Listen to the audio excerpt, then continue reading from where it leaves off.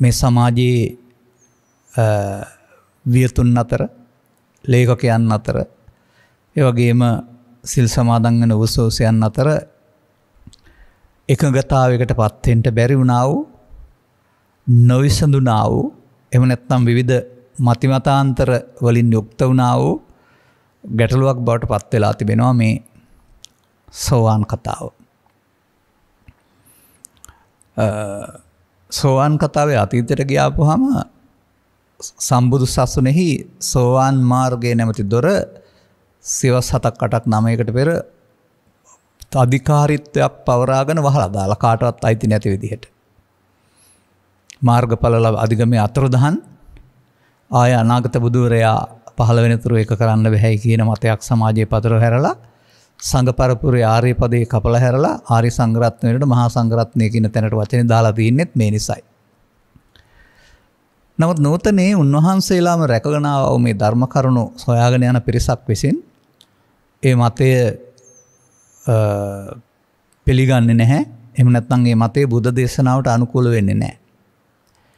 යෝයිමස්මින් ධම්ම විනය අපමත්තෝ විහෙස්සති පහය ජාති සංසාරං දුක්ඛස්සන්තං කරිස්සති කියලා තියෙන්නේ.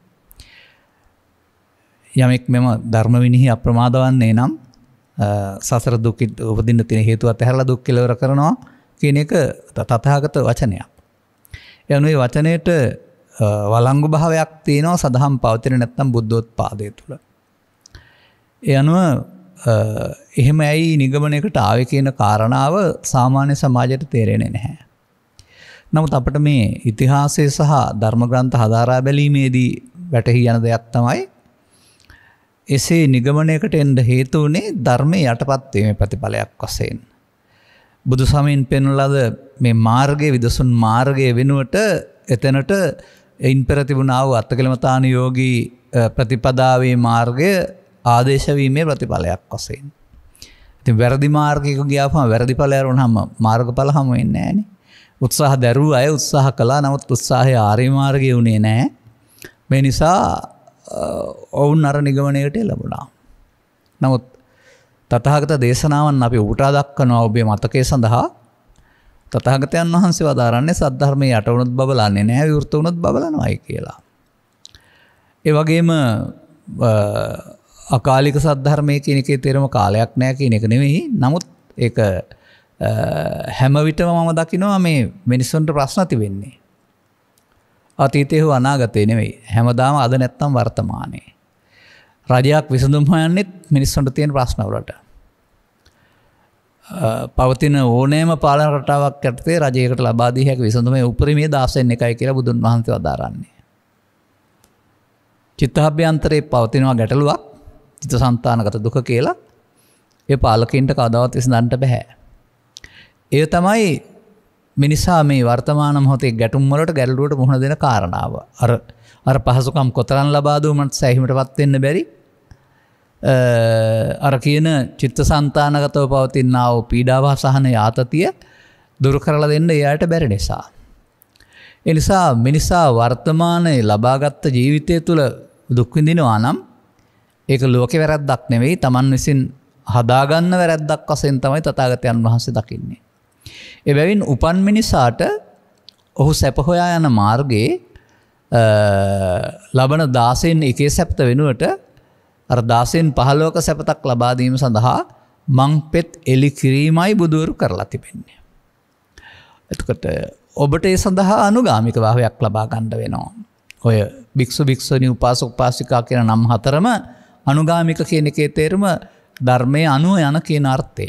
ඒ නිසා ඔබ ඉන්න කොතනද ඒ කියන්නේ ඉන්න කියන්නේ ඉන්න නිවස හෝ මේ තට්ටු නිවාසය කියන එක නෙවෙයි මවෙක් පියෙක් ගුරුවරයෙක් වශයෙන් මේ සමාජයට මෙහෙවරක් කරමින් කොතනද ඉන්නේ.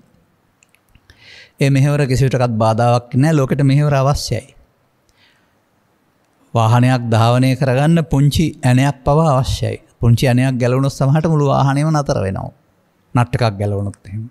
ඒ වගේ සමාජයේ යන්ත්‍රයක්. මේ සමාජයේ යන්ත්‍රය ඔක්කොම එකතු වෙලා ක්‍රියාත්මක කරන්න ඕන තම තමන්ට පැවරුණු වගකීම් හරියට ඉටු කරමින්. එතකොට ඒ ගමන් මේ තමා හඳුනා ගැනීම කියන කාරණාවට තමන් පැමිණෙන්න්නට ඕන ජීවිතය අගට යන්න පෙර. නමුත් අර පැවතුන සම්ප්‍රදාය තුළ තමන් හඳුනාගන්න නැති ජීවිතයක් ගත කරලා ගැඹුරු දහමක් වෙනුවට පින් පවිපාක විශ්වාසයෙන් පවෙන්න ඇත්වෙන දහමකට ගිහින් ජීවිතේ අවසානදී මරණ බය දැනන විට පෙනෙන් පරලො යන්න සකස් කලාව මාර්ගයක් තමයි සමස්තයක් වසෙන් සමාජය තුළ අපි උපන් සමාජයේ අපේ මව්පියන්ගේ මුතුම් නිත්තන්ගේ සමාජය තිබුණේ. නමුත් එක තැන පල්වෙන්ට අවශ්‍යනය සමාජයක් ඉස්සරහට යන්න ඕන. පසුගේ සේව සරම්බලුවොත් එහෙම බල තාක්ෂණික අංගයන්ගෙන් උපකරණයන්ගෙන් කොතරා මිස්සරහට ඇවිදින් තියෙනවද බලන්න. එක තැන පල්ලුනේ නෑනේ. ඒ ඒ පැත්තට හොයන නිසා. හොයන්න හොයන්න හම්බ වෙනවා ඒක තමයි ඒක පරිණාමය කියලා කියන්නේ. අපි මේ බුදු සමයෙන් පෙන්වන සැනසීම අතහැරලා දැම්මොත් හමු වෙන්නේ නමුත් හොයන්න පහන්සි වෙනවා නම්. ඒ හොයන්න මහන්සි වීම තුළ ඒකෙත් නොගැඹුරු ගැඹුරු තැන් පැහැදිලි වෙමින් වැසුරු තැන් විවර වෙමින් ඉස්සරහට යනවා. ඒ අනුව වර්තමාන සමාජයේ බොහෝ පිරිසක් භික්ෂු භික්ෂුණී උපාසිකා නැත්නම් බෞද්ධ කියලා උපතින් ලැබු බොහෝ පිරිසක් මේ බුදු සමයෙන් පෙන්වන නිවීම පිළිබඳව කිසියම් ආකාරයක අරුතක් වටහාගෙන ඉන්නවා. ඒ මරණින් එහා පැත්ත එකක් නොවෙයි. ඒ අනාගත බුදුරයා ලබා දෙ එකක් දෙයක් නොවෙයි. එය මිනිසා විසින් ජීවිතය තුළ ලබාගත යුත්තක් කියන තැනට ධර්මශ්‍රවණය කරලා අවබෝධය ලබන් ඉන්නවා. ඒ පිළිබඳ අපි ඉදිරිපත් කරපු කරුණුවලත් පවතිනවා චුලසක්්‍යක වැනි සූත්‍රයක කොටසක් උපටා දැක්වොත් එහෙම පරිනිබ්බුතෝසෝ භගවා පරිනිබ්බානාය දම්මන් දේශීතිය කියන මේ පදේ මම සියවතාවක් සමහට සමාජයට කියල ඇති ඒක සිංහල තේරුම උන්වහන්සේ නිවිලා ඉඳගෙන අනිත් අයට නිවෙන හැටි කියලා දෙනවයි කියන එකනේ. එනගේ නිවුණේ අසුවේදි නෙවෙයි කියලා දුන්නේ තිස් පහසට අසුව දක්වා. අන්න යනුව ගත් කල තිගට ඔබ තීරණයකට එන්ඩ අවබෝධයකට එන්ඩ බුදු සමයෙන් පෙන්වන නිවීම නැත්තම් සැනසීම ජීවිතය තුළ තියෙන් ඕන දෙයක් කියලා. එකොට ඒ නිවීමට පත්තෙන්ට අවශ්‍ය මාර්ගයක් වසයෙන් තමයි ඔය අපි ඔබ කතා කළ මේ සෝවාන්නාදී මාර්ගඵල පිළිෙන් ප්‍රත්‍යක්ෂ කටයුතු නිර්වාණය කියලා පෙන්න්නන්නේ. දැන් මෙතන පලය කියන වචන තම ඉස්සර වෙලා දාලා තියන්නේ මේ අය. නමුත් පලය ඔබට හොයන්න බෑ. මාර්ගයයි ගන්න ඕන. මතක තබා ගන්න.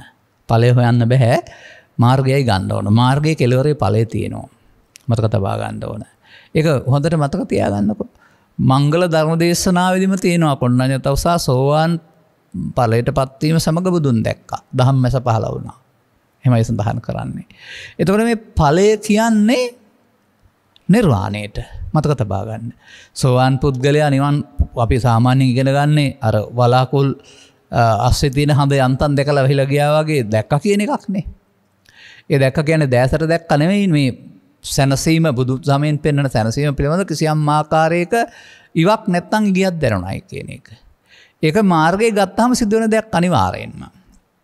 එතකොට ඒක ඒක දැක්කම ඊට පස්සේ ඒක වැහිලා ගියත් ඒ මතු කරගන්න එක තමන්ගෙ කරගන්න එක තමන් බවට පත් කරගන්න එකන සක්කා දිට්ටියෙන් බැඳෙන්ට කියන එකන එකෙන් කියන්න හදන්නේ ඊට ඒබඳු පුද්ගලය උත්සාහ දරනවා. මොකදාර එකට කියමනක්ති වෙනවා ලොකු සැපතක් ලබන්ට ඔන්නම් පුංචි සැපත අතහරින්ට ඕනෑ කියලා. එතකොට අර දාසෙන් එකේ පොංචි සැපත පිටුපස ලුහු බැඳගිය ජනතාවට බුදුන් වහන්සේ දාසෙන් පහලක සුවයක් පෙන්න්න පහම සාමාන්‍යෙන් අපි ගනිමෝකෝ පස්සරක් එක පහයි පස්සරත් දාසය අසුවයි. එතකොට එහෙමනි අපට එන්න සාමාන්‍යයෙන්. ඔක්කම. එතකොට රුපියල් පන්දාහට වැඩ කරමින් ඉන්නවා කෙනෙක්. හැත්ත පන්දහක් දෙන්නම් කිවොත් කවුද අතහැරලයන් මේ මේ පන්දාහ ඉන්නේ. මංගේ ගත්තය අර දාසයෙන් එක පහයි දාසෙන් පහලව හැත්ත පහයි කියන අර්ථයෙන්. අන්න ඒ වගේ මේ හොයන සැනසීම අපිට ලැබිලා තියෙන්නේ දාසයෙන් එක නම් දාසයෙන් පහලවක් හමුවෙනකොට කවුදේක පිළිගන්න නැත්තේ. නමුත් මේවා මෙසේ අනුගමනය කරන්න ප්‍රවිස්ටුවෙන්ට බැරහේතුවක් තිබෙනවා කිසියම් ආකාරයක මෝහන්දකාර දොරටු මොහන්දකාර තිමිර පටල එම නැත්නම් වැරදි අවබෝධය තුළ අපේ සිත්තුවල රිංගගත්තා වූ මිත්‍යාමතවාද තුළින් අපට මේ සඳහා යොමුවෙන්ට බැරිවෙලා තිබෙනවා. තිනිසා අපිට තේරුම් ගන්න ඕනකමක් තිබෙන්නේ පලය මාර්ගය ගත්තොත් හම්බ වෙනවාමයි අනිවාරයෙන්ම. නිසා අපි හොයන් ඕන පලට පත්වෙන හැටිනෙමේ මාර්ගය ගන්න කොහොමද කෙනෙක පිළිබඳව. ඉති මේ මාර්ගයට ගන්න බැරිසීමාවක් තියෙනවා. අන එතනයි මේ ගැටලුව තිබෙන්නේ. උපතින් සම් උපතින් ජාපිකෙන ජාතසෝතා පන්න කියලා ඉස්ර ජීවිතය ස්වාන් වෙලා ඉඳලා ඉපදනොත් තරනහම නැත්නම් අනිත් ඔක්කම උපතින්ම සසරට බැඳෙනාය. අක්කාය දිට්ටිට බැඳෙනාය. එම නැත්තම් පෘතක් ජනාය. මේ පෘතක්ජන කියන අයට හිමි නැති සීමාවක් තමයි මේ මාර්ගඵල කියලා කියන්නේ. එනිසා පෘතක්ජන මට්ටම ඉන්නවා නම් සක්කාය දිට්ඨිය තුළ පවෙන් නිවත් වී පින්දහම් කරමින් එහනම් දානශීල භාවනා කරමින් සක්කාය දිට්ඨිය තුළ සතර ගමන හදාගන්න පුළුවනි පුණ්‍යාවි සංකාරයෙන් මිනිසුන් අතර හෝ දෙවියන් අතරට. බව ගාමිත්වයේ අකුසලයෙන් නිවත් වෙලා භවගාමී කුසලයේ තේරුම් ගත්ත හැකි. ඒ ඒ පෘථග්ජන සීමාවට ගේන්න පුළුවන් එකක් නෙවෙයි මේ මාර්ගඵල කියලා කියන්නේ. එනිසා එක පෙන්නනවා දසවස්තුක සම්මාධිට්්‍යය සහ ආරි සම්මාධිට්්‍ය කියලා දෙකක් තිබෙන බව ඔබට පෙනලා තිබෙනවා. එය මහාචත්තාරී සක කියන සූත්‍රය තුළ සඳහන් වෙන්නාව පැහැදිලි ධර්ම පාටයක්. නමුත් මේකවත් කියවල නැති සමහර ගිහි පැවිදි දේශකින් මේ ප්‍රසිද්ධ මාධ්‍යවල පවා කියනවා සම්මාධිට්ටි දෙකක් නෑ එකයි තියෙන්නේ කියලා. ඉති ඔවුන්ගේ දැනුම බලන්නකෝ. ඔවුන්ගේ පොත් පොත පත පරිශීලනය බලන්න ගෙතකොට ඔවුන් කියන දේ පිළිගත්තම කොමද වෙන්නේ.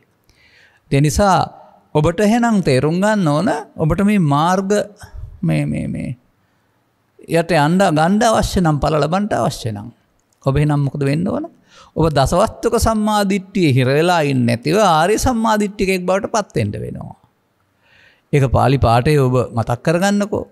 අතිභික්කවේ සම්මාධිට්ටි සම්මාධිට්ටියක් තිබෙනවා අරි සාසවා පුං්ඥභාගයා උපදිවේපක්කා කෙලෙස් සහිතයි පිනට නැමුරුයි එක කර්ම විපාක උපදිවේපාක්ක කියනකේ තේරම කර්මයන්ගේ විපාක තියෙනවා කියන එක. දුක් විපාක හො සැප විපාක විපාක දෙන සම්මාධිට්ටිය මතු විපාක දෙන සම්මාධිට්ටිය ලෞකික විපාක ලබා දෙන. අතිභික්වේ සම්මාධිට්ටි හම්මාධිට්ටියක් තිබෙනවා අරියා අනාසවා ලෝකුත්තර මක්ගංගා. ඒ සම්මාධිට්ටිට ආරී කියලා කියනවා ඒක අර දුක්කොලට හේතු ශ්‍රවෙනවා කියලා කියෙන අනාසවා ඒක අරකින ඔබ හොයෙන ලෝකෝත්තර මාර්ගාංගෙවස් සෝවාන් සකෘදාගාමි අනාගාමි අරිහත් මාර්ගඵල තියෙනවා. මෙන මේක තේරුම් ගත්තේ නැතුව තමයි පෘතක් ජන සමාජය අය දානෙදීලා සිල් රැකල භාවනා කරලා හෝවානෙන් හදනවා. වෙන්න ඕනමොකක්ද. දිට්ටින් ජනප ගම්ම සීලවා දස්සනන සම්පන්නු දැක්මෙන් යුක්ත වෙන්ඩ වෙනවා. එනම් ඔබට මේ දැක්ම පාසැල් අධ්‍යාපනය තුළ ලබා දුන්නාව පිරිවෙන් අධ්‍යාපනය තුළ ලබා දුන්නාව දහම් පසල් අධ්‍යාපනය තුළ ලබා දුන්නාව වචන මාලාවෙන් ලැබෙන්නේ නෑමකද මත් ඒ ඔක්කගේ මාව මට ලැබුණ නෑ එක පාඩමක් විතරයි. එවැන් පෙන්නන දේ ඊට පසුව ඒ පිළිබඳව පැහැදිලිව තිබෙන්න්නාව ප්‍රසස්ත පොතපත හැදෑරීමෙන් හෝ එය කරුණු පැහැදිලි කරන දේශකින් වහන්සේලට සවන්දීමෙන් තමයි එක කරන්න පුළුවන් වෙන්නේ. එමනැතුව නොගැමුරු අදහස් තියෙන පොතපත හෝ නොගැමුරු අදහස් තියෙන අයක කතාබහ කලාටවත් මේක ලැබෙන්නේ නෑ. ඇති ඒ නිසා ඔබ මේ ගයගන ගමනේදී මේ මාර්ගයට පත්වෙන්නට සක්කාය කියන එක තේරුම් ගන්න ඕන සක්කාය පොත්තේ නෙවී තියන්නේ ඔබ ළඟ. නමුත් ඔබ ධර්මශ්‍රවනය කළේ නැත්නම් බෞද්ධ වේවා බෞද්ධ වේවා බුදුන් වහන්සේ වදාළ සක්කාය සහ සක්කාය සමුදේගාමනි ප්‍රතිපදාව තමයි යන්නේ. දැන් ඔය සමාජය දන්නේ නෑ පව සහ පින සහ ධ්‍යානය ඔස්සේත් යන්නේ සක්කාය සමුදේගාම සමුදේගාමනි ප්‍රතිපදාවක කියලා. පවස්සේ යනකොට පුුණ්‍යාවි සංකාරය කියනවා පිනොස්සේ යනකොට පුුණ්‍යාවි සංකාරය කියනවා ධ්‍යානොස්සේ යනකොට සක්කාය කියන්න නෑ එකට රූපරාග රූපරාග කියනවා. ඒ ඔක්කම සක්කාය සමුදේගාමනි ප්‍රතිපදාව.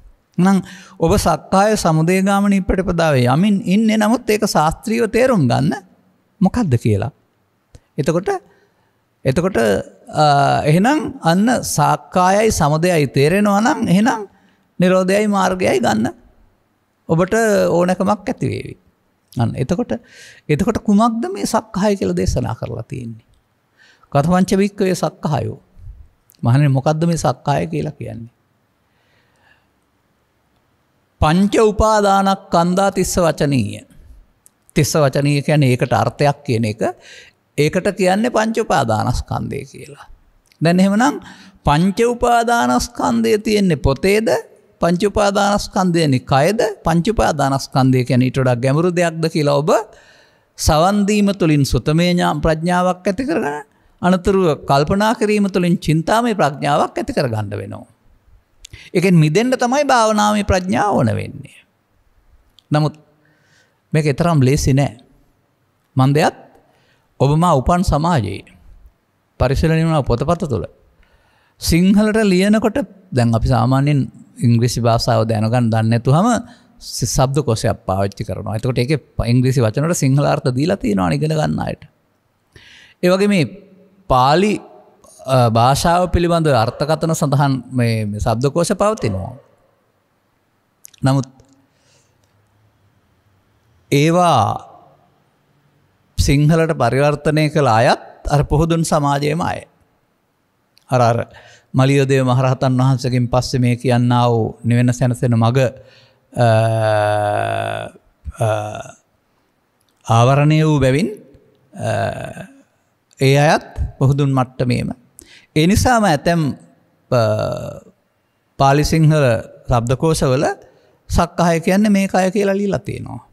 ඒක පාඩන් කරගත්තොත් ඔබට පුළුවන්ද යන්න. අන්න එකයි මේ තේරුම් ගන්ට අවශ්‍ය කාරණාව යන්න ඕනකමත් තියෙන්නේ. නමුත් බුදුරජාණන් වහන්සේ වදාරන්නේ මේ කය නෙමේ පංචුපාදානස්කන්දේ. එනම් පංචුපාදානස්කන්දය කියන්න මේ කය වෙන්න ඕන. නැහැ. අන්න එහෙමයි අපි ටික ටික මේක ගැඹුරට යන්නේ. එතකොට එහෙමනම් ඔබ තුළ පංච උපාදානස්කන්දය ක්‍රියාත්මක වෙන්නේ කොහොමද කියලා අපි පැහැදිලි කරන කරුණු ඔස්සේ ඔබ තේරුම් ගන්න ඕන. එහිදී මේක පැහැදිලි කරන සමාජගත පවතින්නා වූ අරුත්තල කිසියම් ආකාරයක වැරදි අර්ථකථනයන් තිබෙන බව ම ඔබට පැහැදිලි කරලා ඇති. ඒවා අපි පරිහරණය කිරීම තුළ තේරුම් ගත්ත දේවල් ඔබත් ඒ වගේ එල්බගෙන සිටිනවා වෙන්න ඇති නමුත් ඒවා නිවැරදි කරගන්න වෙනවා. එකක් තමයි තාමත් ඉන්නවායි කියලා මට සමහරය කියනවා කතා කරලා මේ පංචස්කන්දය කියන්නේ කයට කියන අර්ථයෙන් මිදෙන්න්න බැරි වුණයි කියලා සමහරයට. තවත් සමහරය පංචස්කන්දය විග්‍රහ කරනකොට නාමරූප කියලා දෙකක් කයතුළි කඩාගත්ත බැවින් රූප කියන්නේ ශරීරය නාම කියන්න වෙදනා සංඥා සංකාර කියලත් තවමත් කියමින් ඉන්නවා. නමුත් මෙවයේ දෝසය කුමක්ද අන්න එකයි තේරුම් ගන්ටුවන. එහෙම උන්නොත් සංසාරය විග්‍රහ කරන්න බෑ. මොකද ඔය මවකුසකින් උපදිනායට නැත්තම් පිත්තරයකින් උපදිනායට තමයි මේ කයක් සහසිතක් දෙකක් තියෙන්නේ. ප්‍රේත කියන්නේ භූත කියන්නේ දේව කියන්නේ බ්‍රහ්ම කියන්නේ කන කයක් තියෙනයි නෙවෙයි. එහෙම ආහාර මේ අපි කතා කරන කනබොන ආහාරයෙන් හදාගන්න කයක් තියෙන අය නෙවෙයි. එතකොට රූප කියන්නේ පටවියාපෝ තේජෝ වාය හතර නම් එහෙනම් සත්තුන්ටයි අපට විතරයි ඒක තියෙන්න ඕන. අර අනිත් සත්තුන්ට නැති වෙන්න ඕන. ඒ කියන්නේ ඔවුන් එතකොට ස්කන්ධ හතරකින් පරලෝ ගිහිල්ලා බ්‍රහ්ම ලෝකෙම ස්කන්ධ හතරක් තියෙනවා වෙන්න ඕන. දෙවිය ලෝකෙම. නෑ බුදුරජාණන් වහන්සේ වදාරන්නේ මීට පෙර සූත්‍ර දෙකක් ඉදිරිපත් කරලා තිබුණා. ඒ සූත්‍ර දෙක ඒකක පෙන්න්නනවා දෙවියන් ප්‍රකාශ කරනවා අපි සක්කායෙන් මිදිල කියලා හිතන් හිටියට අපි සක්කාය තුළ ඉන්න කියලා බුදුරජාණන් වහන්සේ වදාරනවා ගිලාන සූත්‍රය තුළ බ්‍රහ්මලුව පතන් දෙපා එකෙත් සක්කාය තියෙනවායි කියලා. ඒක තේරුම මොකක්ද එනම්. සංසාරයම පංච උපාදානස්කන්දය. එනම් පංච උපාදානස්කන්දයෙන් මිදෙන්ඩ පාරක් ඔය කොහෙවත් නෑ බුදුන් වහන්සේ පැහැදිලි කරපු කාරණානුව අපි තේරුම් ගන්න ඕන අපිළඟ පංච උපාදානස්කන්දය කියලා. යනු මම ඔබට දැන් මේක පැහැදිලි කරනවා මෙහෙම. අලුතෙන්ම හිතන්න කවරුත්ගේ ස්කෝලපතව නැත් නෑ කවරුවත් කියපුව නැත්නෑ මේ කියන දේ ඇත්තද බලන්න. ඒවා ඒවතමයි බාධාවෙන්න සමහර වෙලාවට. බලන්න ඔබට ඔබට තියෙනවා නේද කියලා ඇසයි කනයි නාහේ දිවයිකයි සිතයි කියලා දොරවල් හයක්. ඔබනක මව ඉන්නවනම් පියා ඉන්නවනම් නංගිල්ලවනම් මල්ලි ඉන්නවනම් ආච්චි ඉන්නවනම් සීය ඉන්නවනම් ඒ ඔක්කෝටම මේ දොරවල් හය තියෙනවා නේද. එතකොට ඇත්තක් නේ වෙනත වෙනත් ආගමිකෙක් මතක් කරන්න වෙනත් රටක බහම විච්ච කෙනින් මතක් කරන්න. සත්වයා යනු ඇසකරනාසේ දිවකාය සිත කියන්න අව දොරවල් හය එකතුවයි. තැන් බුදුරජාණන් වහන්සේ පැහැදිලි කර වදාරනවා මෙන්න මේ දොරවල් හය පාවිච්චි කරන්න ගියාපු හම. දොරවල් හයට ගන්න අරමුණු වලට කියන නම තමයි ධර්මයෙහි රූප ශබ්ද ගන්ධ රස ස්පර්ස දම්ම. රූපරූප සබ්දරූප ගන්ධරූප රසරූප පොට්ටබ්බ රූප ධම්ම රූප එහෙමත් කියනවා එකට. එතකොට මෙන්න මේ ජීවත්වෙන්න ගිහින් මේ හමුවනවට කියන නම අපි අරමුණු බාහිරතින දේවල් විදින්ට අපි මේ අරමුණ සිතේ උපදව ගන්ට ඕන.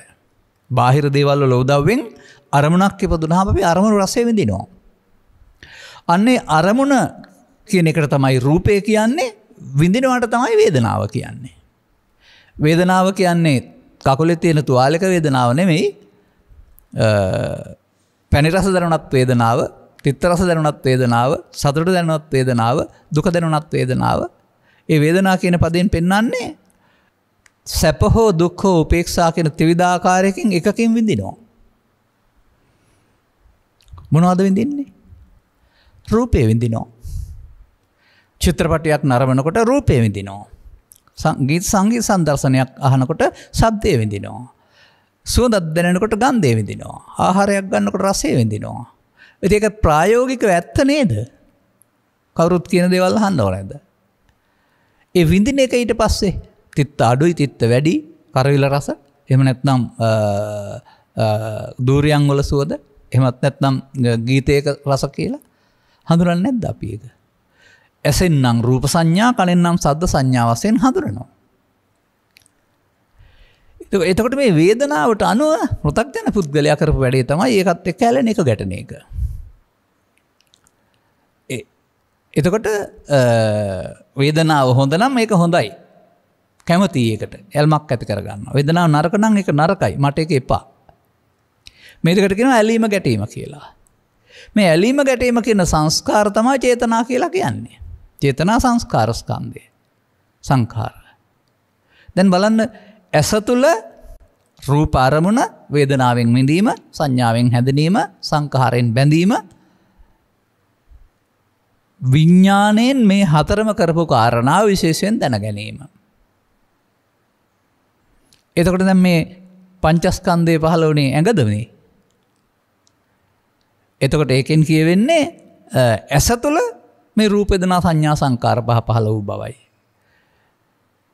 සංගතනිකයි සත්හට්ටාන සූත්‍රය තුළ සඳහන් කරුන් ලබනවා මෙසේ දොරවල් හය කියලා කියන්න සිංහලට පරිවර්තනය කරපු අය මොක දේගොල්ලොත් රූප කියලා හිතන්ගින් නැති පංචස්කන්දේ රූප කියන්නේ නිසාවෙන් නැති එක මගැරලා ලියලා තියෙන්නේ නමුත් දොරවල් හයෙන් වේදනාහයක් සංඥාහයක් සංකාරහයක් විඤ්ඥානහයක් පහලවෙනවායි කියලා මේ සූත්‍රය ඉතුරු වෙලා තියෙනවා. ඒක තමයි මම උදහු කරගන්නේ නිසා ඉතුරු වෙච්ච කරව අනික්වා බමුණ වහලා දාලාද අපි අතින් වෙහෙලද කියන්න දන්නේ නෑ.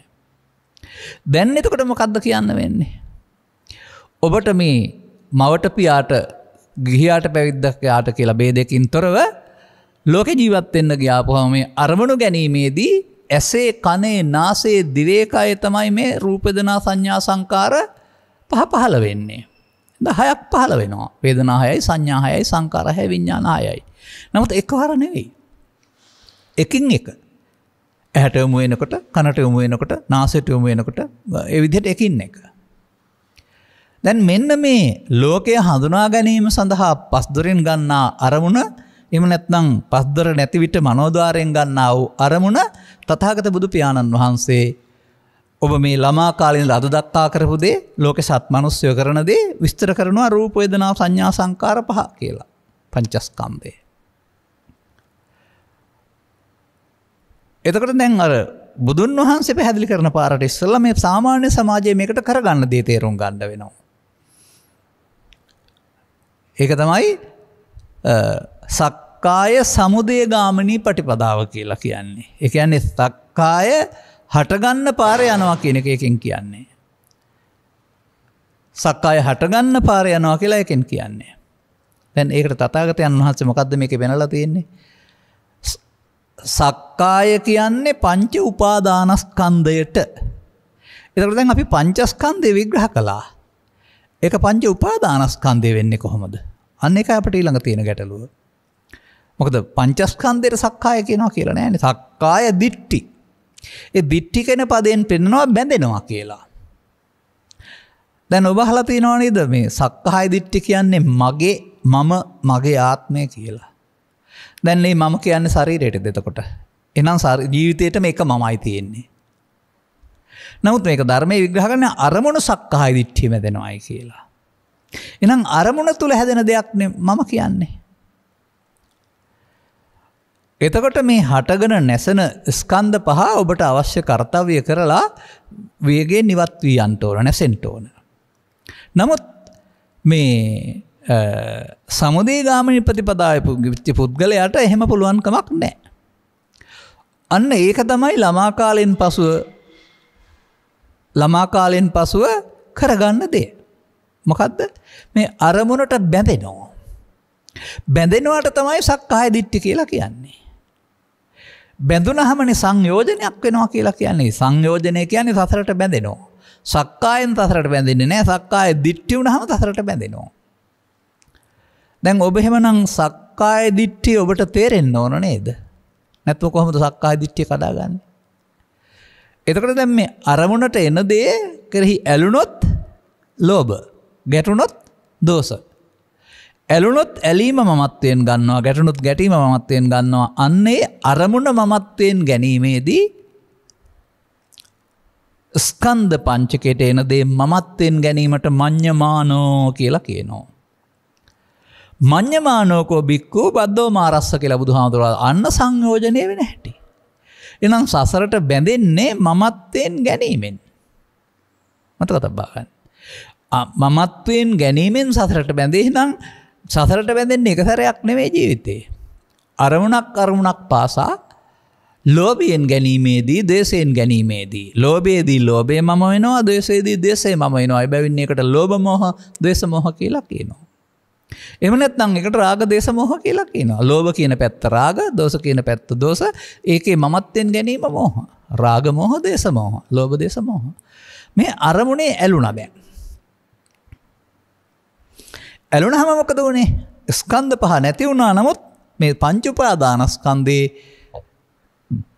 පංච උපාදානස්කන්ධේ පරිහරණයේදී අර සංයෝජනය වීම නම් වූ සසරට හේතු ඉතුරු වෙන එක යළි හට ගණ්ඩ හේතුවක් ඉතුරු වෙන එක සසරට බැඳීම සිද්ධ වෙනවා. එනම් සක්කාය දිට්ටිය බැඳෙන හැටි ඉස්සල්ලා ඉගෙන ගණ්ඩ වෙනවා. එක තම සක්කාය සමුදේ ගාමනී පටිපදාව කියලා කියන්නේ. එතකොට එක කොහොමද පෙන්නන්නේ. යායන් තන්හා පෝනෝ භවිකා නන්දිරාගසහතා තත්‍ර තත්‍රාභි නන්දනී සෙය්‍යතී දං කාම තන්හා. භවි බවට ඕන නෑ. අන්න කිසියම් ආකාරයක යායම් තන්හා තන්හාාවක්. පුනර්භවය ඇති කරන පෝනෝ භවිකා. ඒවගේම නන්දිය නැත්නං එල්ම ඇති කරන. ඒ ඒ තැන සතරෙන් පිළිගන්නාව. තත්ව තත්ත්‍ර ඒ තැන්වල අභිනන්දනය සතරින් පිළිගන්නාව තන්හාාවක් ඇද්ද. දැ මොනවද ඔබලඟ තියෙන්නේ. රූපයට බැඳුනොත් රූප තන්හාාව සබ්දයට බැඳුනොත් සබ්ද තන්හාාව ගන්දයට තැබුණුත් ගන්ධ තන්හාාව රසයට බැඳුනොත් සහ තන්හාාව ස්පර්සයට බැඳ ස්වර්ප තන්හාාව. අන්න කාම තන්හාාව කියන එක සයවිධ තන්හාාවකට බෙතෙනවා. දැන් එතකොට බැඳෙන්නේ කයෙන්ද ඇසෙන් කලින් නාසෙන්දිවෙන් කයින් මේ දොරවල් හායනි සානයවිධ තන්නායකට බැඳෙන්නේ. අන්න ඒ බැඳෙන එක සක්කාය සමුදේ ගාමනී පටිපදාව. එනම් මේ මේ සක්කාය තේරුම් ගත්තේ නැති අය ලෝකේ සැප කියලා හොයන්නේ පස්දොරෙන් හම්බුවෙන අරමුණු සුවය. එනම් ඒ අරමුණු සුවය බැඳමින් නැවත නැවතත් හොයන්න. ඒ සඳහා කාලය ධනය සමය කැප කරනවා මොකද ඒක සැප තියෙනවායි කියලා. ඒ නැවත නැවතත් හොයන එකට කියනවා අනුයෝගෝ නැත්තන් නැවත නැවතත් එදීම කාම සුකල්ලිකානුයෝගයෝ කාම නැමති සුකයෙහි ඇලෙමින් නැවත නැවත හොයන එක. මේක තමයි මනුස්්‍යයෝ කරමින් ඉන්නේ බාහිර ලෝකේ මේ ස්ත්‍රීපුරුස ගිහි පැවිදි බේදෙන්තරෝ දසවස්තක සම්මාධිට්්‍යය තුළ පවතුලත් මේක තිබෙනවා පෙන තුළත් මේක තියෙනවා සීලේ තුළත් මේක තිබෙනවා. අනුයෝ නැවත නැවතත් තිදමින් අරමුණේ සැප හොයන ලෝකයක්. බුදුන් වහන්සේ පහලන සමාජයේ උන්වහන්සේ මැදුම් පෙළ දේශනා කරන්න පෙර මොන ඇඳුමෙන් ගෙදර හෝ කැලේ කොහෙටියත් අරමුණේ සැප හොයනවා නම් කාමසු කල්ලි කානයෝගීන් අරමුණට ඕවයින්ට දෙන්න ඇතුව වෙනත් අරමුණක් හුරු කරනවා නම් අත්ත කෙළමතාන යෝගීන්. අපට ඒගෙන කතා කරන්න වෙතන අවශ්‍යනය මොකද ඔබට අවශ්‍ය කාරණයනි. දැන් එහෙමනම් ළමා කාලේ සිට මෙසේ අරමුණට ඇලමින් ගැටමින්. කොතරම් කල් ඇවිදින් ඇද්ද. දැන් මොකද එකෙන් වෙන්නේ? එහෙම වුණාම. එහෙම වුණාම වෙන්නේ මේ මූලයන් බලවත්වෙනවා. දැන් ඔබ කැටයක් ගෙදරගෙනත් තියාගෙන ඒකට දවස ගාන රුපියල් පහ පහ එකතු කරන්න පහදහය වෙලා දහය පහළ වෙලා අවුරුද්දක් කැනකොට පහව තුන්සි හැට පහකින් එකතු කරන්න වැඩි කරන්න වෙනවා. ඒ බලවත් වනානේ නැවත නැවත දැමීම නිසා. මෙන්න මෙසේ මේ අරමුණෙහි නැවත නැවත බැඳීම නිසා මොකද වෙන්නේ ලෝබ මූලය දේශමෝහය මොහමෝලය බලවත් වනම ඒ තමයි සංයෝජන. ලෝබ මූලිය දේශමූලිය මොහ මූලිය තමයි මිනිසාට දුක්ගෙනත් දෙන්නේ ලෝබක්කය දේශක්කය මොහක්කය නිබ්බානම් බුදුන් වහන්සේ නිවීමට පත්වෙන්ට නම් ලෝබදේශ මොහසය කරන්න ඕන කෙල්තිනවා. නවත්න පෘතක් යන භාවය තුළ පවතල වැඩියනොත් පිනතුළ අඩුවනොත් ලෝබදේශ මෝහයන් බලවත්තන එක තමයි මේ පෘතක් ජනය තුළ වෙන්නේ. එනම් ඔහු ඔබ ඉන්න සක්කාය සමුදේ ගාමනි ප්‍රටිපදාවේ. මතක් මතක තියාගන්න. ඒක තේරුම් ගන්න ඕන. අපි මේ බාහිර වසයෙන් සැපහොයමින් ගියාවුනාට අපි එකෙන් සංයෝජනයමින් එන්න කියන එක. එනිසා ඇස තුළත් සක්කාය කන තුළත් සක්කාය නාසය තුළත් සක්කාය දිව තුළත් ඒ දොරවල් හයෙන්ම සක්කාය හයක්. එතකොට ඒ අරමුණ ඔබ හොඳයි හෝ සැපයි හෝ සාන්තයි කියලා ගත්තොත් නරකයි කියලා ගත්තොත් ඔබේ කෙහි ඇලීමක් ගැටීමක් ඇතිකර ගත්තහම තමයි ඇලීමෙන් ගැටීමෙන් මම හැදෙන්නේ. ඇලීම ගැටීමට තමයි මම කියලා කියන්නේ. එතකොට අර යායන් තන්හා කිසියම් තන්හාාවක් කියන්නෙත් ඕකමයි එතකොට තන්හාවයි මමයි දෙකක් වෙන්න නෑ. මමත්වයෙන් ගැනීමමයි තන්හාාව. එනිසා ස්කන්ද පංචකය හටගන්නවා ලෝකයා වචනින් කියන්නේ නැහැ ඒක එක ඇලෙනවා මුලාවෙනවා ගැටෙනවා මුලාවෙනවා හෙවත් මගේ මම මගේ මගේ ආත්මකට ගන්න. ස්කන්ද පංචකය මගේ මම මගේ ආත්මකට ගැනීමෙන් පංච උපාදානස්කන්දය බවට පත්වේ එතකොට මං්්‍යමානෝකෝ බික්වූ බද්ධෝ මාරස්ස. මේකට කෙන දුක්ඛ ගාමනී පටිපදාව කියලා. මේකට කෙන පරිහාන දම්මං ඕ භික්වය දේශිස්සාමි. ඔය බුදුරජාණන් වහන්සේ ඔබ නොදන්නාකමින් කරන්නගේ වැඩේ සසරට බැඳෙන හැටි නැත්නම් ඇලෙන හැටි පැහැදිලි කරන්නේ. මතක තබාගන්න. සසරට බැඳෙන හැටි ඇලෙන හැටි පැහැදිලි කරනු ලබන්නේ. අනිවාරයෙන් මේ අපට වැටහෙන්න වෙනවා නොදන්නා පුද්ගලයා මේ අරමු රස විදින්ට යාම තුළ මෙසේ නැවත නැවතත් බැඳෙන පාරතමයි යන්නේ. ඔහු ඒක තුළින් අර ධනය තිබෙනවා නම් යානවාහන තිබෙනවා නම් රැකයා තිබෙනවා නම් ගෙවල් දොරවල් තිබෙනවා නම් බිරිඳක් සැමියෙක් ඉන්නවා නම් දරුවෝ ඉන්නවා නම් ඒව තුළ මේ සැපතේනවායි කියලා අර දාසෙන් එකේ සැපත හොයන්න මේවා ගොඩ ගහනු ලබනවා. නමුත් අවසානයට යනකට මේවා ගොඩ ගහන සහ ඇලුණු තරමටම මේවත් එක් කලා තියෙන බැඳීම අතහරින්ට බැරිකමම දුකසේ අතහරින්ට සිදුවෙන තැනට පත්වෙනවා. එතකොට කියන්න වෙනවා ප්‍රියහිප්පයෝගෝ දුක්කෝ ප්‍රිය වසයෙන් එල් ඇලුනේ ඇයි වෙන්වීමේ දුකට පත්තෙන්ට සිද්ධ වෙනවා. එනිසා අපට මේ චාග කියන පදෙන් පෙන්න්නේ ඔක්කොමටික තෑග දෙන්න කියන එක නෙමෙයි. ඔබ තෑග කියලා සිංහලට පරිවර්තනය කරගත්ත චාග කියන එක චාග කියන එකේ තේරුම ලෝබය දේශය මෝහය අතහැරීම. ආර්යධනයන චාගදනන් තියෙන්නේ එතකට ඒ මොනහරි දෙන එකක් නෙමේ මේ ලෝබේ දේශේ මෝහය කෙනෙක අතහැරීමට චාග කියලා කියනවා. එක මෙතනත් සඳහන් වෙලා තින ඉස්සරහට අපි වලමකු. දැන් එහෙමනම් මේක මේ සක්කාය සමුදේගාමනි ප්‍රටිපදාව තව ටිකක් ඔබට මම පැහැදිලි කරන්න ඕන. ඒකත් ඒකට ඒකට තේරුම් ගැනීමට තරම් ඔබට තිබෙන්න ඕන ප්‍රබුද්ධ ඥානයක් හැබැයි. මොකද මම මේක පැහැදිලි කරන්නේ ජීවිතය තුල නෙවෙයි. පොත තුලත් නෙවෙයි. ඔබ වර්තමානයේ ගන්නා වූ අරමුණ තුල අරමුණු රසය විඳින්න ගියාපුවම මේ සමුදේගාමනී ප්‍රතිපදාව වෙන හැටි. අන්න එතකොට ඔබට ඒකේ තේරෙනවා ඔබ කර්ම මාර්ගයේ ඵලයට හිමිකම් කියලා සසරට බැඳෙන කෙනෙක් වෙනවායි කියලා. එකයි අර අපි අර සූත්‍රයේ පවතින පාරම යන්නේ නැතුව ඔබට මේක පැහැදිලි කරන්න පුළුවන් ඔබ ළඟ සිදුවෙන සිද්ධියක් ඔස්සේ ගන්නේ. දැන් බලන්න ඔබට මේ ලෝක ජීවත් වෙනකොට මේ අරමුණු ගැනීමේදී මොකද වෙන්න කියලා. අරමුණක් ගැනීමේදී මොකද වෙන්න කියන එක. එක අරමුණ තුළ නැත්නම් ඇස තුළ මම කියන මොහොතේ තේරුම් ගන්න ඕන. ඕක පොතේ තියෙනවා දහම් පෙළනවත් පොතේ තිබෙන්නේ ඔබ ළඟ සිදුවෙනදී. ඔබ එක පාඩම් කරගෙන ලීවට විභාග පස්සේ නමුත් ඔබ ප්‍රායකෝ දකින්නේ. ඕනෑම සිද්ධියකද ඇසේ කනේ නාසේ දිවේ කනේදී අරමුණක් හමවීම සඳහා කරුණුතුනක් එකතු වෙනවායි කියන එක තිබෙනවා. තින්නම් සංගති පස්සෝ කියලා පාලියෙන් කියනවා. ඔබට ඇසට නම් ඇසේ පෙනීම තිබෙන්ඩ ඕන ඒවගේ ඉදිරියෙන් රුතියන රූපක සෙවනල් ඇහට වැටලා තිබෙන්ට වෙනවා ඔබට ඒක හඳුනගන්න සිත පහළවෙන්ට වෙනවා.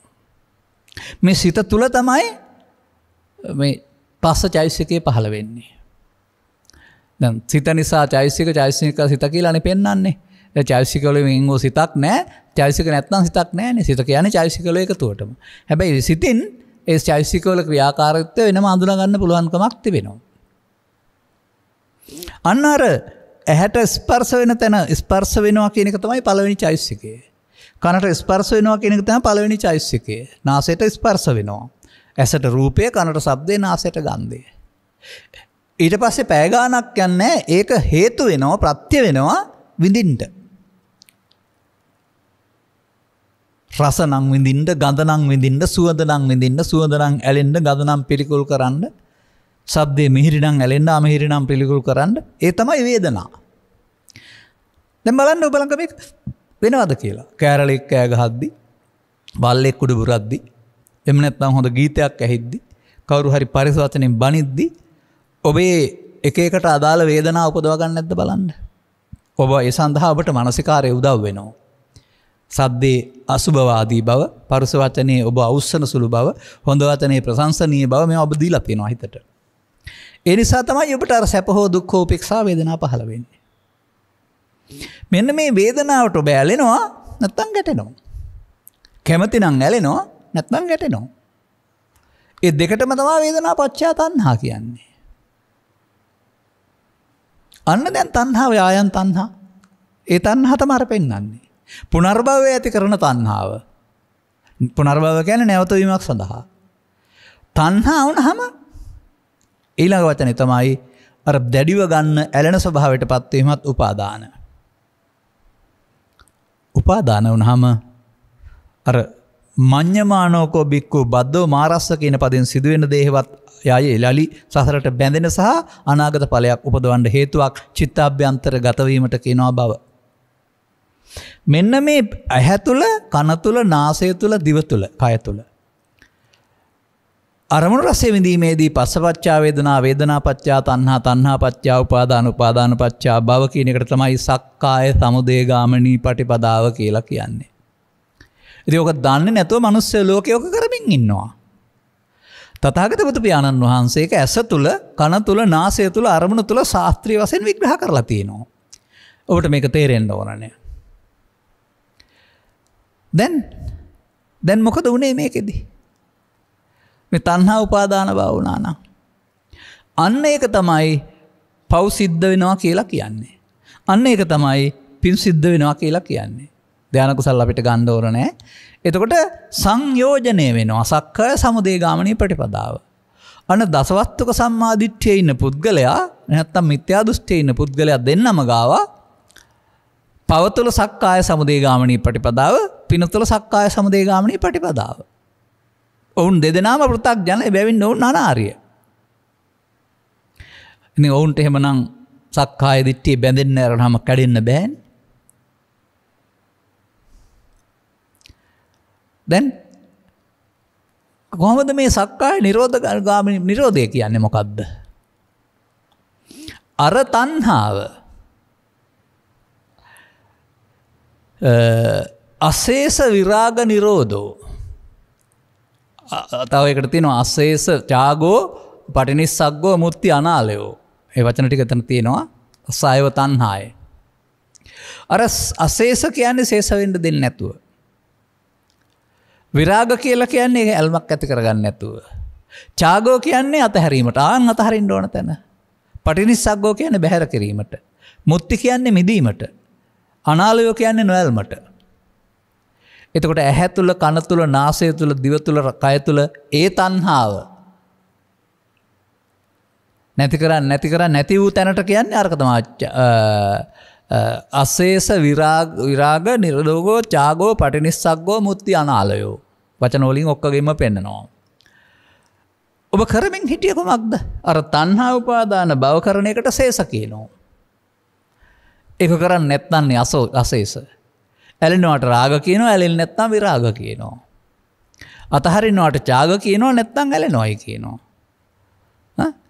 බැහැර කරනවට පටිනිස්සක්ගෝ කියනවා අර එක මිදෙනවට මුත්ති කියනවා. නොඇල්මට එනම් අරමුණ තුළ තමයි මේ අල්ලා නොගැනීම නොවැල්ම කියන කාරණාව අපි පාවිච්චි කරන්න ඕන.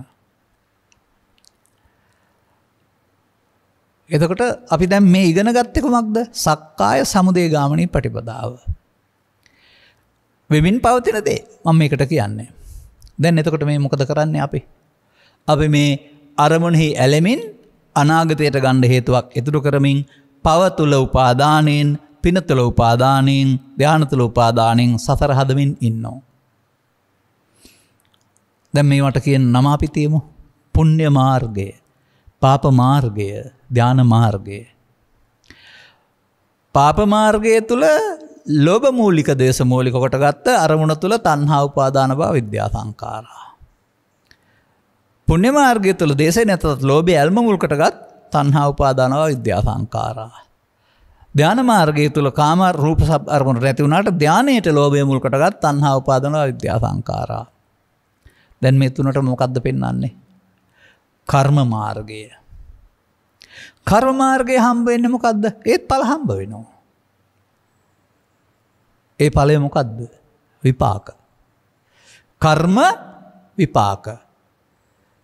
මෙලෝ වසෙන් නම් දුක් විපාක පවට පරලෝ වසෙන් නම් මරඩින් හා පැත්තට විපාකය දුගති ගාමී. පුුණ්‍යකර්මය මෙලෝ වසෙන් නම් ලව අයුරණ සැබ්බල පරලෝ වසෙන් නම් මිනිසුන් අතර හෝ දෙවියන් අතර විපාකේ. ධ්‍යානකර්මය මෙලෝ වසෙන් නම් සංසුන් බව පරලෝ වසෙන් රූපියරුපී මතල විපාකේ.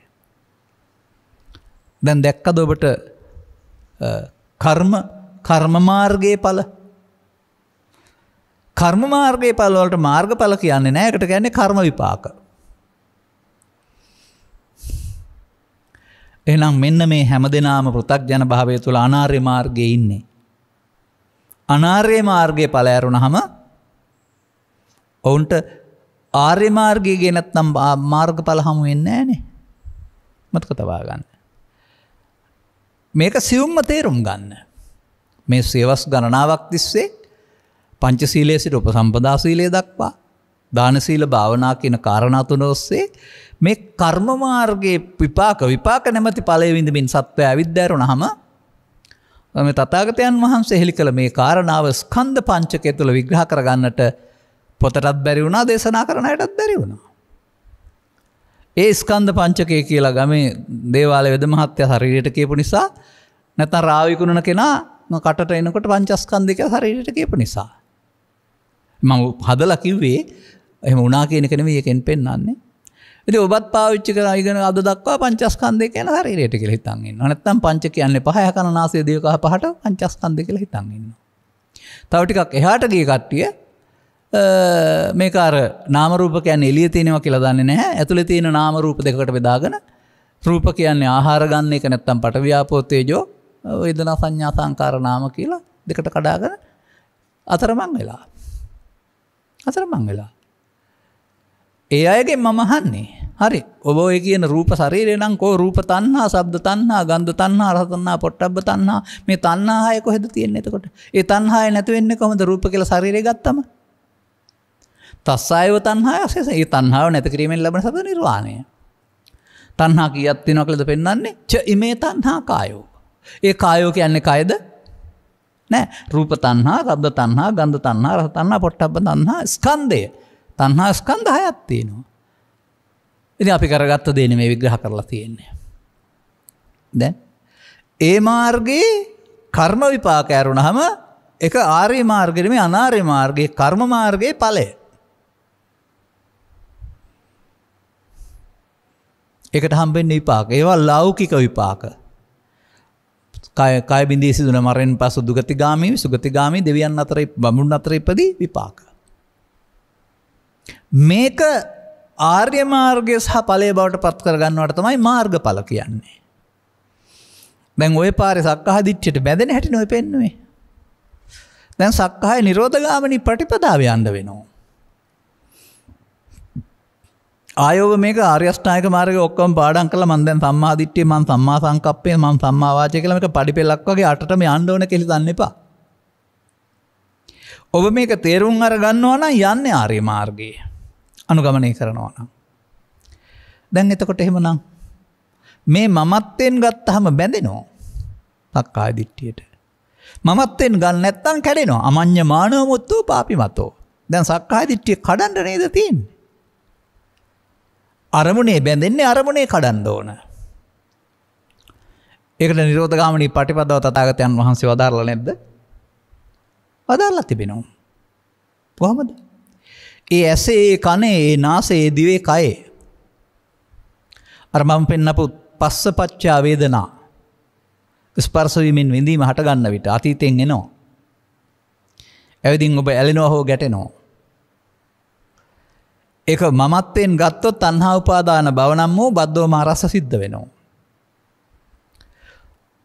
ඒ තණ්හාව ඇහි නම් රූප තණ්හාව කනේ නම් සද්ද තණ්හාව නාසය නම් ගන්ධ තණ්හාව දිව නම් රස තණ්හාව කය නම් පොට්ටබ්බ තණ්හාව හිතේ නම් ධම්ම තණ්හාව ලෝභ දේශ මොහ ඊර්ෂ්‍යා ක්‍රෝධ වෛර ඕන දෙයකට. උපාදාන භවෙන්ට නොදෙනවට තමයි අසේස කියන්නේ. නොයලෙනවට තමයි විරෝග කිය විරාග කියන්නේ. අර අතහරිනවට තමයි චාගෝ කියලා කියන්නේ. පටිස්සක්ක තමයි බැහැර කරනවාට මුත්ති කියන්නේ මිදෙනවාට. අනාලේ නොඇලෙනවාට. එතකොට තන්හා නැත්නම් රූප තන්හා කළේ නැත්නම් උපාදාන නෑ උපාදාන නැත්නම් බව නෑ. තන්හා උපාදාන බව කර්ම මාර්ගයයි ඵලය පව් පින් ධාන විපාකයයි. ඒ ආර්ය මාර්ගයේ නෙමෙයි අනාර්ය මාර්ගයේ යන අයට තියෙන ඵලය. ඒ ඵලය සංසාරෙම විපාක.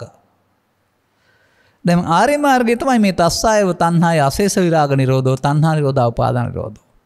දැන් මාර්ගය ගත්තහම එතනින් තණ්හාව නැති වුණා.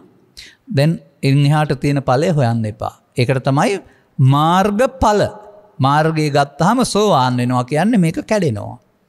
දැන් මෙතන හම්බ වෙනවා අර අරමුණ සේස නොවීම තුළ මේ මෙතන ක්ලේෂයන් නැසීමක් සිදුවනකට සංසුන් බවක් හම්බ වෙනවා. අන්නේ සංසුන් භවේ ආරම්භයට තමයි ආනන්තරික සමාධී ආරම්භය කියලා කියන්නේ. එහෙම දෙයක් තියෙන බව දැනිලා නැතිවෙන එකට තමයි අර අලාකුල් වලින් හඳ ඇත් වෙලා අලාකුල් වලින් වැහලතිවිච්ච හඳේ වලාකුල් ඇත් වෙලා හඳ යන්තම් දෙක ලැබිලා ගියා කියලා උපමාවක් පෙන්ලා තිබෙන්නේ. මේ ආනන්තරික සමාධිය සිතේ තියෙන දේ ක්ලේශයන්ගෙන් වැහි තිබෙන බව සහ ඉවත් වූ මොහොතේක හමුවන බව. එනම් මාර්ගය යන්න යන්න ඵලය අනිවාර්යෙන්ම එදත් අදත් ඉදිරියටත් තියෙනවා. මේ ඇහේ කනේ නාසයේ දිවේකයේ තණ්හාව ෂය කරන මාර්ගයේ යන්නතුව කොහොමද මාර්ගඵල තියෙන්නේ කාටවත්? එහෙමද මේ සමාජයේ මාර්ගඵල ගැන හිතන්නේ? ඒකට මෙතන පැහැදිලි කරන්න වෙලාවක් නෑ වැරදි ආකාරයේ කෙලෙස් යටපත් කරන සමාධි කියලා වෙනස් සූත්‍රවල පෙන්නනවා සමාධියක් හදාගෙන අරමුණු වෙන්නේ නැත්නම් සෝවාන් කියලා හිතනවා. එහෙම නැත්නම් ඇස් දෙක පියාන අරමුණු ගන්න නැතුව ඇඟ ගල් ගහලා ගියාම සෝවාන් කියනවා. එහෙම නැත්නම් අරමුණු ගන්න නැතුව හිස ඇතුලේ මොකක් හරි සිතුවිල්ලක් පහළ වුණාම ආලෝකයක් වශයෙන් සෝවාන් කියනවා. මේ එකක්වත් ආරියද මේ මාර්ගයේ තියෙනවනේ සක්කාය නිරෝධ ගාම පිටිපදාව ඔකට මේනේ පෙන්වන්නේ. තස්සායව තණ්හාය අශේෂ නිරාග නිරෝධෝ කියන එක. අන්න කොන්නඤ්ඤ තවසට පළවෙනි වතාවට මේ ඒ වෙනකොට ඔහු ඉන්න ඇත්තේ ලෞකික ධානයක් පැත්තේ ඔහුට මේක තේරුණා. මේ දුක්ඛ ගාමිනී ප්‍රතිපදාවේ සත්‍යය පවපින ඔස්සේ උපාදානයෙන් යන බව සහ මෙන්න නිරෝධ ගාමිනී ප්‍රතිපදාව කියන එක. අපටත් ඒකමයි. ඔන්න දැන් මේ නිරෝධ වෙනකොට හම්බ වෙන ඵලය ඒක අසංකතයි කියලා කියන්නේ. එකයි ඵලය හොයන්න යන්න එපයි කියලා කියන්නේ. ඵලය එදත් තිබුණා අදත් තියෙනවා ඉදිරියටත් තියෙනවා. හැබැයි හෙව්වොත් විතරයි හම්බ වෙන්නේ. සොයන්නාට සම්බ වෙන්නේ. මතක තබා ගන්න. මම උදාහරණයට කියනවා මෙහෙම. පරක්තරක් නැති අහස අපට නිල් පාට පෙවුනට හොයන්න බෑ ගියාට ගියාට පෙවුනට අහස් නිල කියලා කිව්වට. නමුත් අපේ පෘථිවි ගෝලය තුලට මොකද වෙන්නේ මේ වායු ගෝලයෙන් තල්ලු කරන් ඇවිදින් වලාකුළු ටිකක් ගෙනත් වහනවා. දැන් වලාකුළු වල සුදු පාට දුඹුරු පාට විතරක් නෙමෙයි වලාකුළු වලාකුළු අතර ඝර්ෂණයක් තියෙනවා. එන විදුලි කොටනවා අකුණු ගහනවා ශබ්ද බද්ද. හැබැයි තිබියදීත් අහස තමයි එහා පැත්තේ තියෙන්නේ අපට පේන්නේ නැහැ. අන්න වගේ මේ සංසුන් ස්වභාවයේ වහගෙන ආපු ලෝභ දේශ මොහ නැමැති වලාකුළු නේද ඔබට දුක් ගෙනත් දෙන්නේ. ඔබ ඒක ඇත්ත කියලා හිතන් ඉන්න නිසා නේද ඔබට නිවනක් එපා වෙලා තියෙන්නේ. මේ වලාකුල් තියන්නේ පාවෙලා යන්න ඇරියහම ඉතුරු වෙන්නේ සැනසීම කියලා තේරෙනවා නම් වලාකුලට ප්‍රිය කරන්නේ නේද? මේ ගැටුම් සහිත වලාකුලට හෙවත් ලෝභ දේශ මොහ මත ගැටලා දුක් විඳින්න කවුද ආස කරන්නේ ඊට එහා පැත්තේ සංසුන් සිතක් තියෙනවා කියලා දැක්කොත් අන්න සෝවාන් පුද්ගලයා මේක දැක්ක කියන්නේ අන්න ඒක නිවන් දැක්කා කියලා කියන්නේ. දැන් ඊට පස්සේ ඔහුට මේවත් එක්ක ඇලි ඇලි සටන් කර කර ඉන්න ඕන නෑ. ඒක මතු කරගන්න මහන්සි වෙන්න වෙනවා. එතකොට මෙන්න මේක ආරම්භයට සක්කාය දිට්ඨිය කැඩෙනවායි කියලා කියනවා. එතනින් එහාට ඉවර නෑ කඩලා හැබැයි. මොකද නැවත නැවතත් කාමරාග ව්‍යාපාද තුනී කිරීම කියන්නේ සක්කාය දිට්ඨියට නොපැමිණෙමින් සාන්ත සමාධිය දක්වා යන්නට ආසෝෂය කරනවා. ඉතින් මේක තේරෙනකොට මම දන්නවා ඔය විචිකිච්චා බුදුන් කෙරෙහි සැකය කියනක බුදු හාමුදුරුව ඉන්දියාවට සැකනය කියනක නෙමෙයි මේකෙන් පේන්නේ මේ ස්කන්ද පංචක උපාදාන නොවී අවසන් වෙනකොට අනාත්මයනේ ඉ අනා බුදුන් තේරෙනවා එතකොට මත්ක තබාගන්න ඒත් බුදුන් බුදුදත්තට පත්වෙලා හිටියක් යන්නේ කොහොමද කියන එක පිළිබඳව හොඳට තේරුම් ගන්න අවස්ථාවක් සැලසෙනවා. එවිතරක් නෙවෙයි. ධර්මය පිළිබඳ සැකේ දුරුවෙනවා කියලා කියන්නේ එක තමයි දැන්ව ධර්මය කියන්නේ බණපොතර හරි සූත්‍රවලට හරි නෙමෙයි. බුදු හාමුදුරුව හොයාගත්ත ධර්මය තමයි නිවන කියන්නේ. එතකොට නිවන් දැක්ක පුද්ගලයාට ධර්මය සැකද. අවබෝධ වනානන් තමන්ට මෙම සංසොන් සොයත් තියෙනවා කියන එක. එනිසා මම වෙනම කල්පනා කරන්න සක්හ දිට්ටි කැරනට විචිකිච්චාසිල විචිකිච්චා කියන එක කාරණ අමුතුවෙන් දුර කර ගණ්ඩ ඕනෑ කියලා. එක ඉබේම ඇත හැරෙනවා. විතරක් නෙවෙයි තවටිකක් එහාට යනකොට මොකද වෙන්නේ. එතනදී. දැන් මේ අරමුණ අවශේෂ නිරෝධයෙන් සසරට බැඳේ නිරවශේෂ නිරෝධයෙන් සසරින් මිදේ. එන අරමුණක් තුළන මේක හදන්න තියෙන්නේ. හදැන් අරමුණක් තුළ හැදීමක් තියනවද පංචසීලෙසි උපසම්පදා සීලේ දක්වාම නෑනේ. එනම් අන්න ඔබ ශික්ෂාපද සමාධානත් තුළ ඉන්න එක සම්මත පිළිගැනීමක් නමුත් මේවයින් මට නිවන් ලැබෙනවායි කියලා ඔබ දෘෂ්ටියක හිටියනම් ඒක අතහැරෙනවා මොකද මේ නිරවශේෂ නිරෝධයෙන් තමයි බුදුන් වෙත යන පාරතයෙන්නේ. ඒක අර ශික්ෂාපද සංවරේ නෑ. එනිසා අපි අර පාසලෙන් උගන්නපු අජවෘත ගෝෘත සුනක වෘත්තවල සීලබ්බත පරාමාසය කියන බොලද දැක්මෙන් අයින් වෙලා පුද්ගලයෙක් වසයෙන් මවකසින් බිහූ තැන් පටන් නැත්තං උදේසිට හවස දක්වා පුද්ගලයෙක් සමාධන්න ශික්ෂා පදයක් තුළ නිරවශේෂ නිරෝධය නෑ. එක අරමුණතු සිද්ධවෙන්න කාරණයක්. එනම් පෝයට සිල් සමාදන් වෙලා ඉන්න අනිත් ඇත් එක් කලා නැත්තන් ගෙදර පන්සිල්ල ඉන්න එක සම්මතයන. නමුත් තමන් මේ ඇතුළතින් මෙන්න මේ නිරෝධ ගාමනී පටිපදාවද යන්න ඕන. ඔන්න දැන් ආපහු යන්න හැරුණා. මේකට තමයි පටිසෝත ගාමී කියලා කියන්නේ. දැන් සක්කාය සමුදේ ගාමිනීමයි දැන් සක්කාය නිරෝධ ගාමී. දැන් හැම එකේ සීට සියක් මහම්ම වෙන නෑ තව අරමුණට අහු වෙලා පස්සේ ගණඩ තියන්න පුළුවන අහුවෙල් නැති හැම එකේදීම මාර්ගය ගන්නකොට පලය මාර්ග පල එක වතාවක් නෙමේ දහවතාවක්නේ සීවතාවක්නේ නැවත නැවතත් නැවත නැවතත් මෙන් මේ අරමුණු අනාගත පලයක් උපදින් නොකර අවසන් කරනකොට අසංකතයට නැත්නම් මේ වචනින් කියන්න බැරි මේ ආනන්තරික සමාධිය කියලත් කතා කරනවා මේකට සංසිඳීම කියලත් කතා කරනවා තව විදු වචන පාවිච්චි කරනවා උපසමය කියලත් කතා කරනවා. ඒක ඒකට කැමති. එතකොට ඔහු ජීවිතය කැමති වෙන්නේ ලෝබය දේශය මෝහය මුල් කොටකන ජීවත්වෙන්න නෙවී දැනට ජීවත්තෙන් ඒවා තුළ. එනිතා ලෝබේ සරණං ගච්ඡාමි දේශේ සරණං ගච්ඡාමි පාපේ සරණං ගච්ඡාමි කියලා තමයි ඒගොල්ලොන්ට කියන්න වටින්නේ. නමුත් අරක හම්බුනහම ඒකට ධර්මය කියනවා. දැන් ධර්මයේ සරණ කරගන්න තමයි ජීවත් වෙන්න හදන්නේ. මොකද ධර්මයේ සැනසෙල්ලක් තියෙනවා.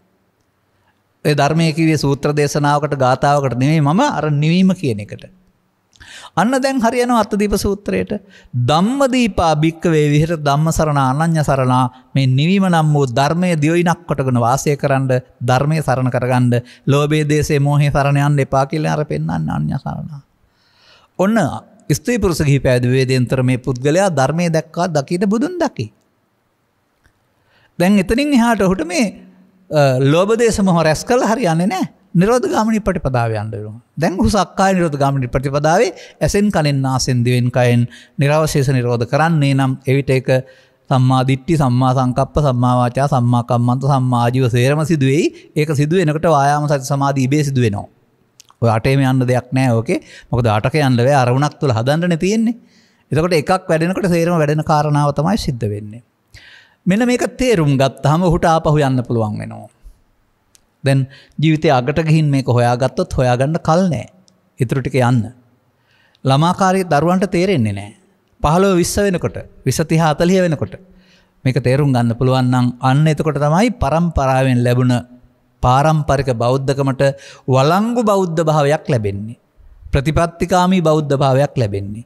බුදුන් ලෝහෙලි කළ ධර්මය සරණාරකන බුදුන්ට ප්‍රතිපත්ති පූජායෙන් පුදන්න පුළුවන් වෙන්න සහ බුදුන් වැරදිකාරයෙක් වෙන්නේ නැත්තේ.